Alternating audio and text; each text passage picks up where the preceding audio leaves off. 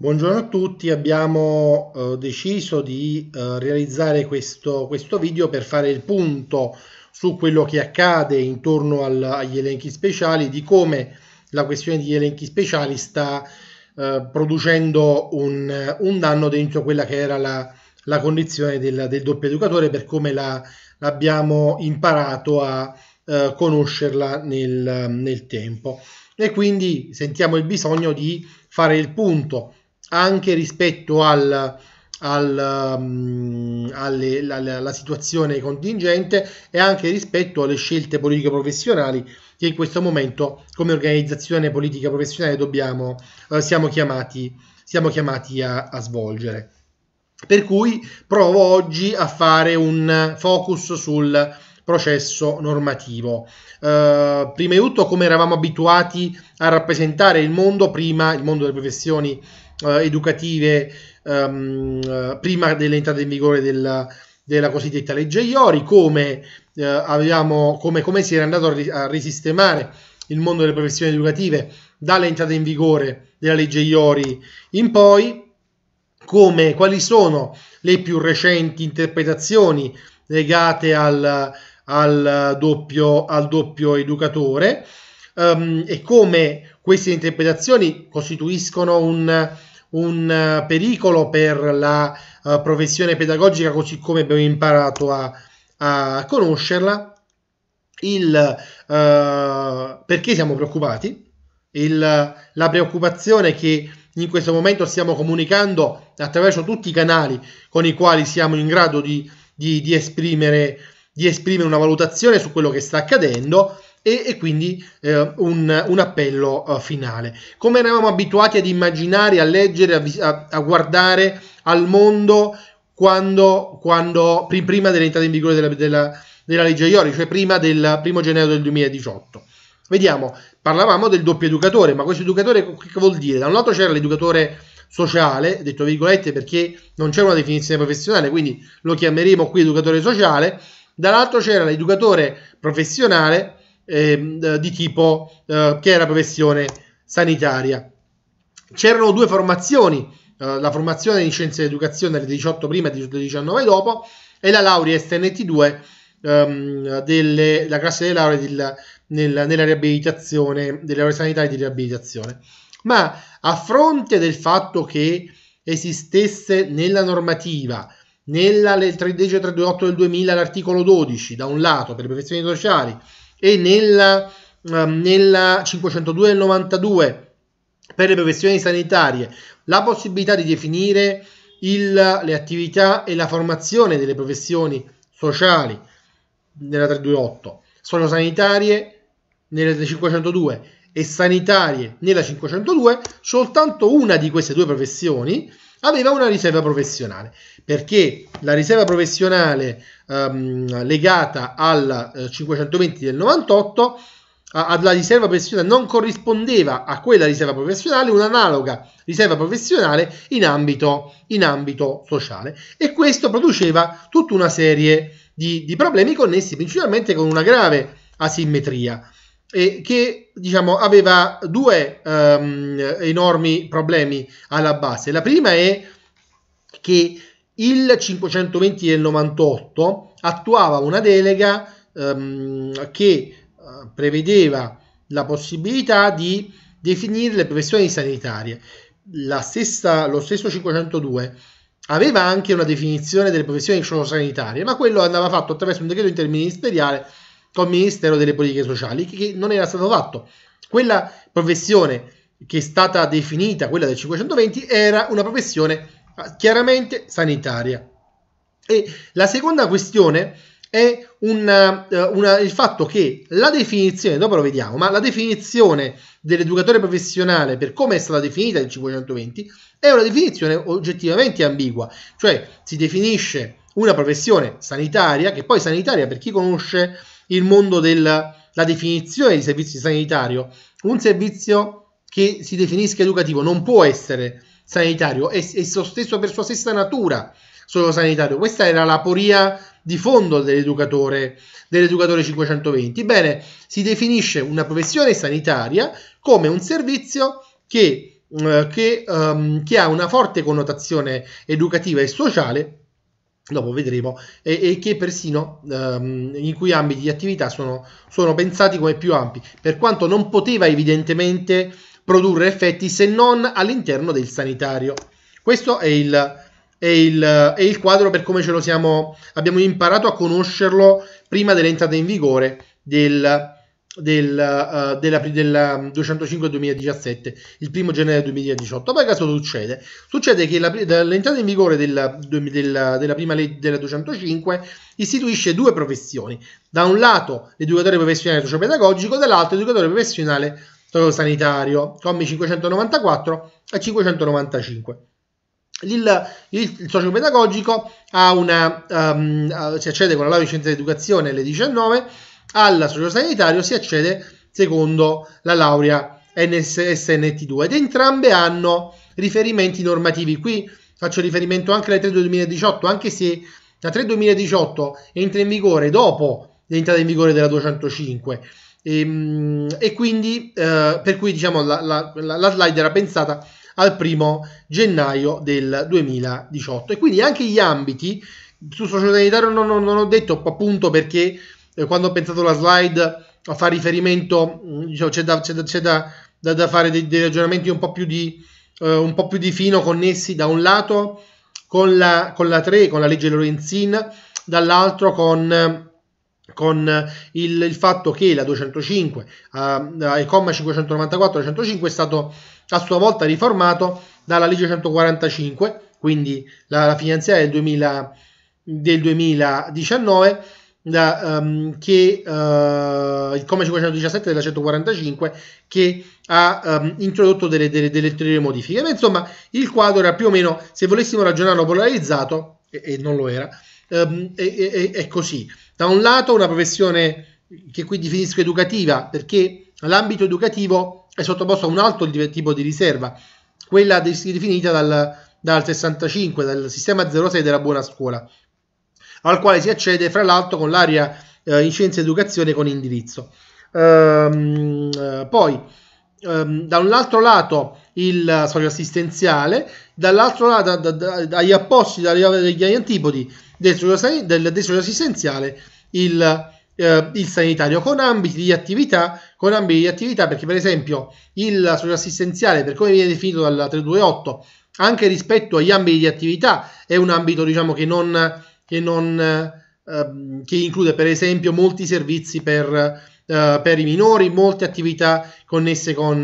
la prevenzione eh, delle droghe alcuni servizi di tipo sociale per persone con disabilità uh, psichiche, insomma non, non, è un ambito eh, ristretto a quello che siamo abituati a ragionare come ambito, come ambito sociale. Dall'altra parte, con la poria che dicevo prima di una professione sanitaria che non poteva che essere eh, però diciamo sociosanitaria, ma che non viene attuata secondo le modalità della, della professione sociosanitaria, il, il, uh, il, uh, il, l'educatore professionale 520. Fra il primo gennaio 2018 e il, il giorno di oggi ci sono dentro, ci sono in mezzo la, la legge 3, quindi anche um, l'istituzione di un, di un ordine multialbo che ha dentro anche l'albo degli educatori professionali um, sanitari,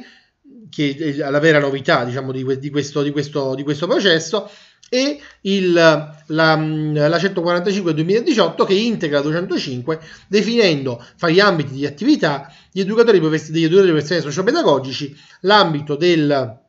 del, del, um, del sanitario e del, del, sanitario limitatamente agli aspetti, agli aspetti educativi. Evidentemente, limitatamente agli aspetti educativi è, è, è, è uh, un, uno degli elementi che sono, che sono sul tavolo, ma in effetti, come, come, come posso vedere, farvi vedere eh, chiaramente dopo, non ci sono aspetti edu- diversi da quelli educativi nella nostra, nella nostra attività, evidentemente.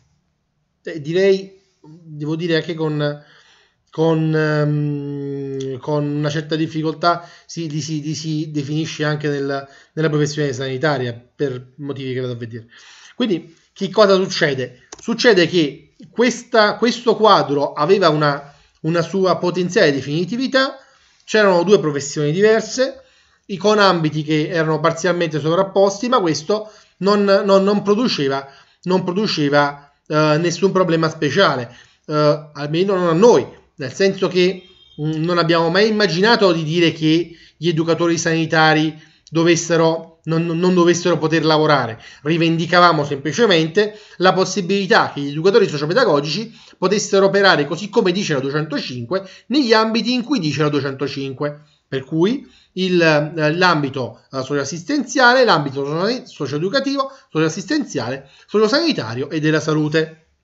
È accaduto però che negli ultimi giorni il, eh, l'introduzione di una circolare sugli elenchi speciali, che evidentemente è un elemento che ha, ehm, cambia il, il quadro quale, nel quale stiamo andando ad operare, ehm, che è stata emessa dall'ordine del TSRM, produce degli, delle, de, una enorme preoccupazione per cui la maggior parte, cioè, non, chi, chi, di noi um, svolge questa, una, una, funzione di riferimento per, per, la categoria si trova a, a ricevere almeno 10-15 telefonate al giorno, uh, Whatsapp, uh, uh, messaggi su Messenger, eccetera, di colleghi che sono estremamente preoccupati rispetto al quadro che si sta andando a, a definire e anche Ehm, eh, un quadro che ha portato già adesso diverse migliaia di educatori eh, sociopedagogici ad iscriversi, ad iscriversi negli elenchi speciali, di fatto facendo una scelta verso la professione di educatore professionale sociosanitario, evidentemente perché si sentono minacciati, in pericolo rispetto al, al, alla propria attiv- possibilità di operare dentro, dentro i servizi. Cosa dice il TSRM? Dice prima di tutto tu se eserciti una professione, quella professione è um, definita non per dove eserciti la professione, ma per il fatto che la stai esercitando. Quindi, se eserciti una professione nel, di medico e però fai un servizio di uh, prevenzione dentro la scuola, non è che stai esercitando un'altra professione, sempre medico sei. E quindi, indipendentemente da dove tu operi, sociale, sociosanitario, sanitario nel nostro caso, il, la, le professioni sono, sono, sono, sono quelle lì che sono, insomma. La seconda argomentazione è l'educatore professionale sanitario, sanitario professione sanitaria, mh, mm, anche quindi se opera in una comunità per minori, lo dico io, non lo dice esattamente così dentro, dentro il, la circolare, ma insomma questo è il senso, sempre di, di educatore professionale, di educatore professionale si tratta. Ora, ovviamente la definizione del, del, del, um, dell'educatore professionale, professione sanitaria, va riferita alla, a quella che è la definizione prevista dal 520 del, 1900, del 1998, che come vedremo è una definizione decisamente eh, ampia eh, di una professione eh, che ha una forte connotazione sociale, perché il 520 stava definendo una, una professione sanitaria ad alta connotazione sociale il, quello, quello che succede è che l'ordine pretende che quella definizione professionale, che era chiaramente limitata all'ambito sanitario, debba essere, debba essere estendibile a qualunque ambito di attività. Ehm, e quindi, eh, dice, dice il, l'ordine eh, TSRM, gli educatori sociopedagogici possono iscriversi agli elenchi speciali anche se hanno operato nel, sia, sia se abbiano operato nel centro assistenziale, sia se hanno operato nel centro sanitario, sia se abbiano operato nel, nel sanitario. In relazione poi al, all'educatore professionale um, sociosanitario del sociopedagogico cosa dice? Premessa, dato che non possono esistere professioni ex legge 4 um, che si sovrappongono a professioni ordinistiche, questo non lo, non lo, dice l'ordine, lo dice la stessa definizione di professione non organizzata in ordini e collegi prevista nella, nella legge 4. Dal momento che non ci possono essere professioni ex legge 4 che vanno a sovrapporsi a professioni ordinistiche, come va vista questa cosa? Il, gli educatori sociopedagogici, dice l'ordine, sono esentati dall'iscrizione negli elenchi speciali in quanto dice sono una professione impossibilitata a svolgere le attività tipiche riservate all'educatore professionale di quel 520 del 98. Il 520 del 98 però definiva una professione che, che, è molto simile a quella che l'attività che noi immaginiamo, che, che noi uh, siamo abituati a considerare l'attività dell'educatore. ci sono degli elementi, degli elementi che adesso vado a sottolineare, ma, ma, ma come vedrete adesso che guardiamo il 520, l'attività professionale di educatore, così come siamo abituati a concepirla dentro tutti i servizi sociali nei quali siamo presenti, è molto simile a quella che è la definizione che di educatore dava il 520 del 98. Ed è questo il, il principale elemento di preoccupazione che nasce dentro il mondo, dentro la categoria. Signori, il 500, il, l'ordine sta sostanzialmente argomentando, non posso, pre, non posso che prendere atto che ci sia una professione che si chiama educatore professionale sociopedagogico, però ti dico anche che, visto che lì c'è, che nella stessa definizione statuto della, dell'educatore professionale sociopedagogico c'è scritto che la professione è ordinistica e quindi visto che c'è la professione ordinistica di conseguenza il, tutto quello che fa l'educatore sociopedagogico l'educatore sociosanitario è, coincide con tutta l'attività educativa tour quindi esiste la professione di educatore sociopedagogico ma non può operare in nessun tipo di servizio. Questo è il tipo di argomentazione paradossale abnorme che, il, che, che l'ordine TSRM prova a a, a, a, sottoporre e che evidentemente sta facendo spaventare le persone perché dicono eh, se, se, se il rischio Naturalmente uno, quelle, una, una, una delle, dei passaggi di quella circolare è la, l'esercizio abusivo della professione. Se rischio l'esercizio abusivo della professione, se rischio di poter perdere il mio posto di lavoro, mi iscrivo negli elenchi speciali e mi infilo dentro questa specie di, di, di limbo quale, dal quale non potrò mai più uscire con l'apartheid di cui facevo riferimento prima dei um, ehm, 50.000, eh, insomma, di, di, alcune decine di migliaia di educatori sociopedagogici che stanno nell'elenco speciale e um, in cui invece chi, chi, chi, chi, traccia la linea, chi definisce i diritti e sono invece gli educatori, um, gli educatori uh, sanitari. Questa è la, l'interpretazione del TSRM, è un'interpretazione purtroppo molto autorevole evidentemente non è l'unica interpretazione in campo. Cosa invece dice l'interpretazione del, mondo delle, delle, del, del nostro mondo accademico? Dice, mm, guardate bene che la 205 ha definito con chiarezza gli ambiti di attività dell'educatore professionale sociopedagogico, che sono l'assistenziale, sanitario e sanitario. Dice proprio sanitario il, um, la, la, posizione del, del, um, del, del, mondo, mondo accademico di scienze dell'educazione, non dice della salute, perché sta riconoscendo l'ambito sanitario all'interno di quella definizione di sociosanitario della salute che è prevista nel comma 517 della 145. Poi dice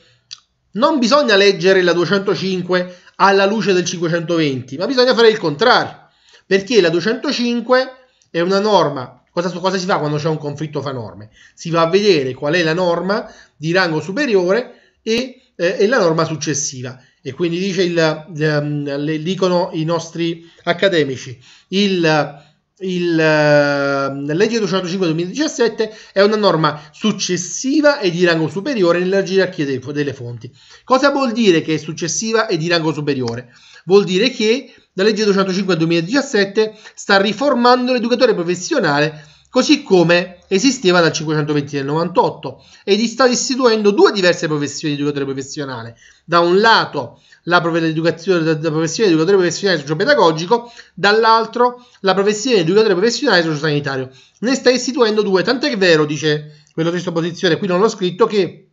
l'educatore professionale um, sociosanitario soltanto l'educatore professionale sociosanitario fa riferimento al 520, non è che lo ignora il 520, fa riferimento, lo, lo integra dentro una delle, delle due professioni. Ora,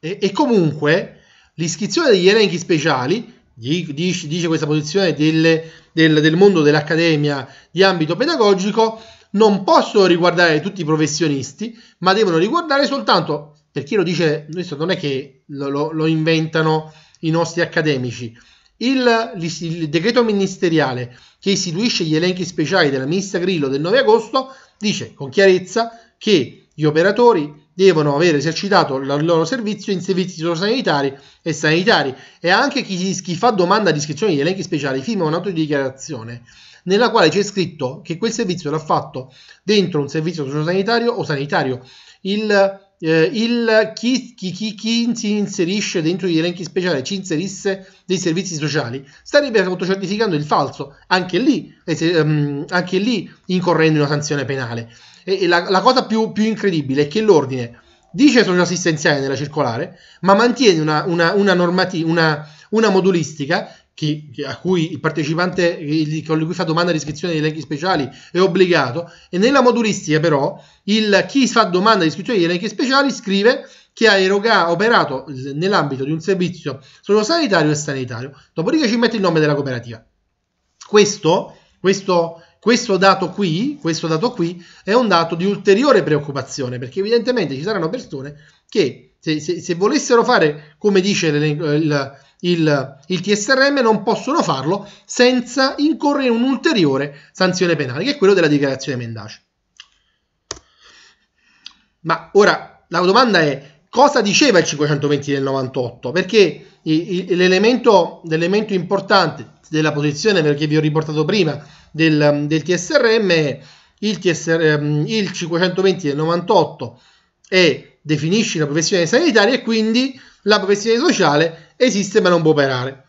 E, e questo è il punto. E, e dice il 520, è istituito un educatore sociale e sanitario, definisce così. È una professione sanitaria, non c'è dubbio, ma è definita come un educatore sociale e sanitario. È in possesso del dio abilitante, il diploma universitario sono le lauree triennali ante litteram. Nel 98 non esistevano, nel nostro ordinamento esistevano i diplomi di laurea, per noi era la laurea quadriennale, ed esistevano, poi c'erano i diplomi di laurea quinquennale e, e seiennale, non so come si dice, nel caso del, del, um, del, del per esempio di medicina, ma eh, soltanto nel, nel 2004 entrano nell'ordinamento le lauree triennali. Quindi il, il, um, viene, viene attribuito ad un diploma universitario perché in sanità già nel 98 esistevano le, quelle che erano di percorsi formativi um, uh, istituiti presso le facoltà di medicina con durata triennale. È in possesso di, di, di un, ma soprattutto attua progetti educativi e riabilitativi. Li attua entrambi.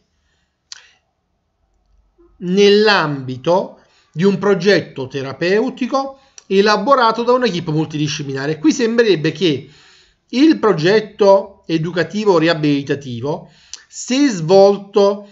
al di fuori di un progetto terapeutico ed è non elaborato da un'equipe multidisciplinare, non produca l'esclusività dell'educatore professionale, um, dell'educatore professionale 520. Questo è plausibile perché lui sta ragionando,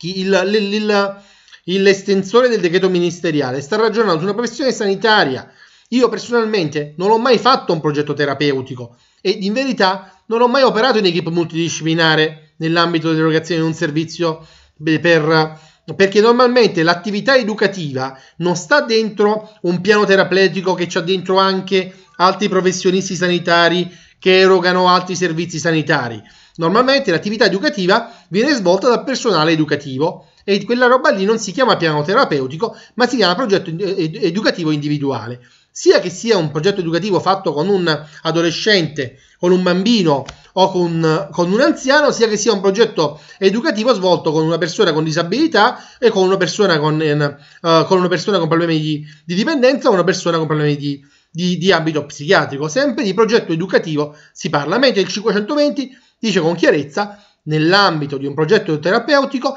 elaborato da un'equipe multidisciplinare. Il resto, in verità, al di là del linguaggio, per esempio, dice cura il positivo inserimento e reinserimento psicosociale di soggetti in difficoltà Parla, parla il, il, sanitariese, evidentemente. Noi non, non, non lo diremo mai così, perché intanto non è immaginabile per noi che un educatore o un pedagogista operi esclusivamente con i soggetti in difficoltà. Noi lavoriamo per la promozione della persona, punto. Poi a, alcune persone possono averne più bisogno, può darsi, ma il, non è la difficoltà a definire la, la, l'ambito di attività di un, di, un, di un piano, di un'attività educativa e anche diciamo, la, la riferimento al, all'inserimento e risinserimento psicosociale hanno, eh, sono, sono, hanno, molto a che fare con l'approccio eh, medico sanita- sanitario. Eh, io, noi, noi, certamente lo definiremmo, definiremmo in, altra, in altro modo. Ma quando andate a definire le attività, le attività, come potete vedere, sono molto simili a quelle che sono le attività educative,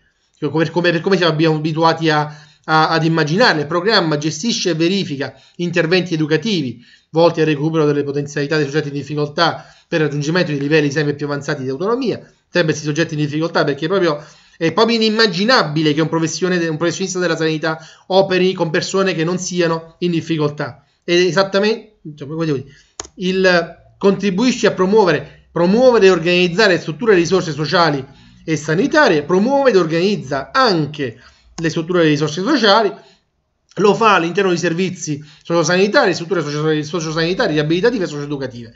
eh, in modo integrato e coordinato con altre figure professionali. Qui capite che diciamo il, la, la, preoccupazione era che, che, che capisce, anche qui diciamo è proprio il, la professione sanitaria che si in, in, va ad inserire dentro il quadro di una burocrazia e di una, e di una eh, di, una con, concetto di eh, professioni sanitarie che è molto diverso dal nostro. Evidentemente per, per noi l'educatore è parte di una, di una, di una catena che, sta, che ci ha come applicare il, il, il pedagogista, qui parla di modo coordinato e integrato con altre figure professionali, c'è in mente l'equipe multidisciplinare che si può immaginare dentro alcuni servizi, alcuni servizi sanitari, opera sulle famiglie sul contesto sociale, partecipa ad attività di studio, ricerca e documentazione finalizzati agli scopi che abbiamo elencato. Ora,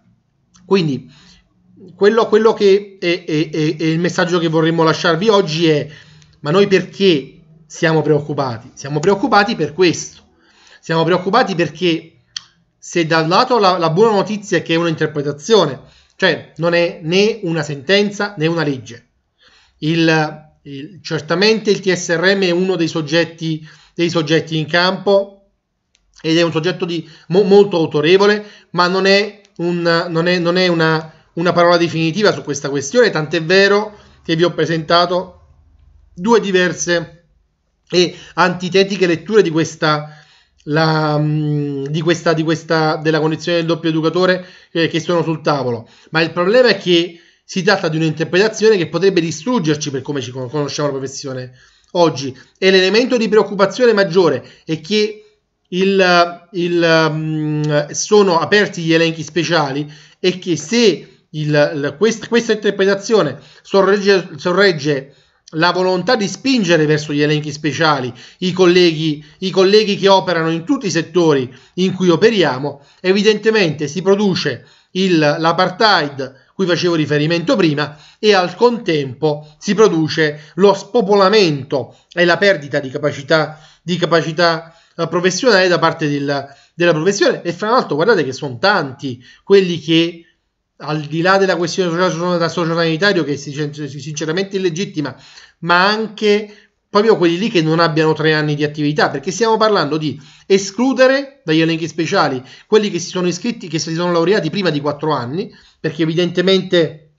evidentemente eh, i, i, tre anni devono essere posseduti al primo gennaio del 2019,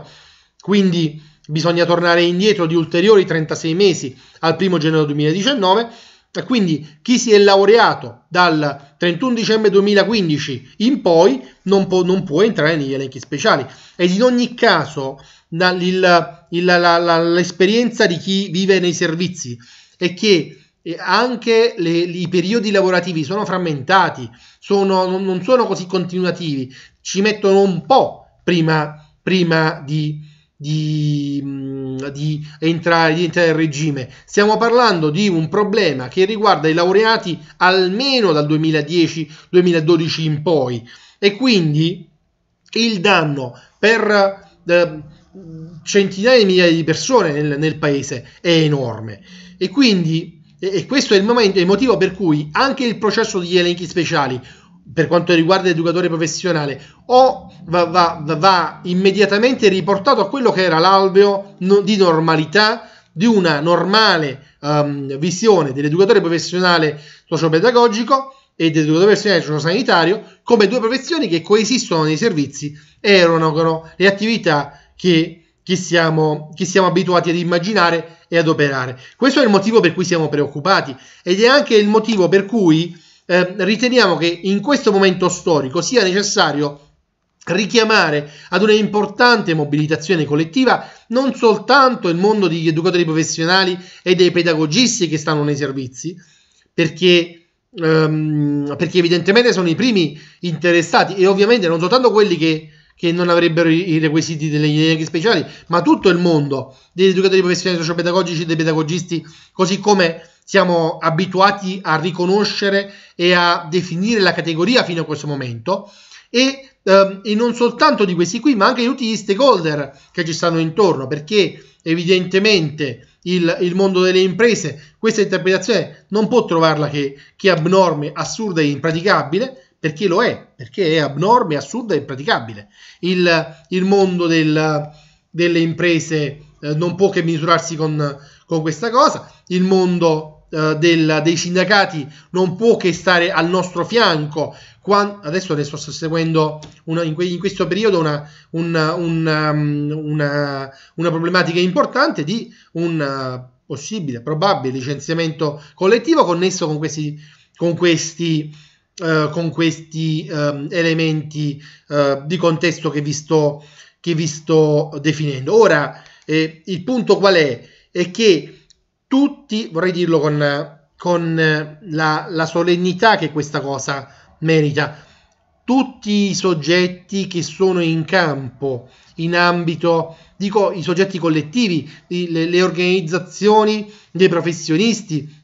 le organizzazioni del, dell'università, tutti i soggetti che sono in campo su questa partita rispondono, in generale, rispondono alla categoria per quello che fanno. Evidentemente ne rispondono sia per quello che fanno che per quello che non fanno. E quindi il tema è che il, è necessario che tutti si assumano un pezzo di responsabilità rispetto, rispetto, a questa, rispetto a questa situazione, sia per la loro azione che per la loro eventuale inazione, perché il, il danno che potremmo avere da questa fase che si apre da oggi e che si chiude il 30 giugno del 2020, perché il, sembra certo che, il, che nel mille proroghe verrà approvato il, la proroga al 30 giugno 2020 per dell'iscrizione degli elenchi speciali potrebbe essere tale da eh, cambiare in maniera radicale non soltanto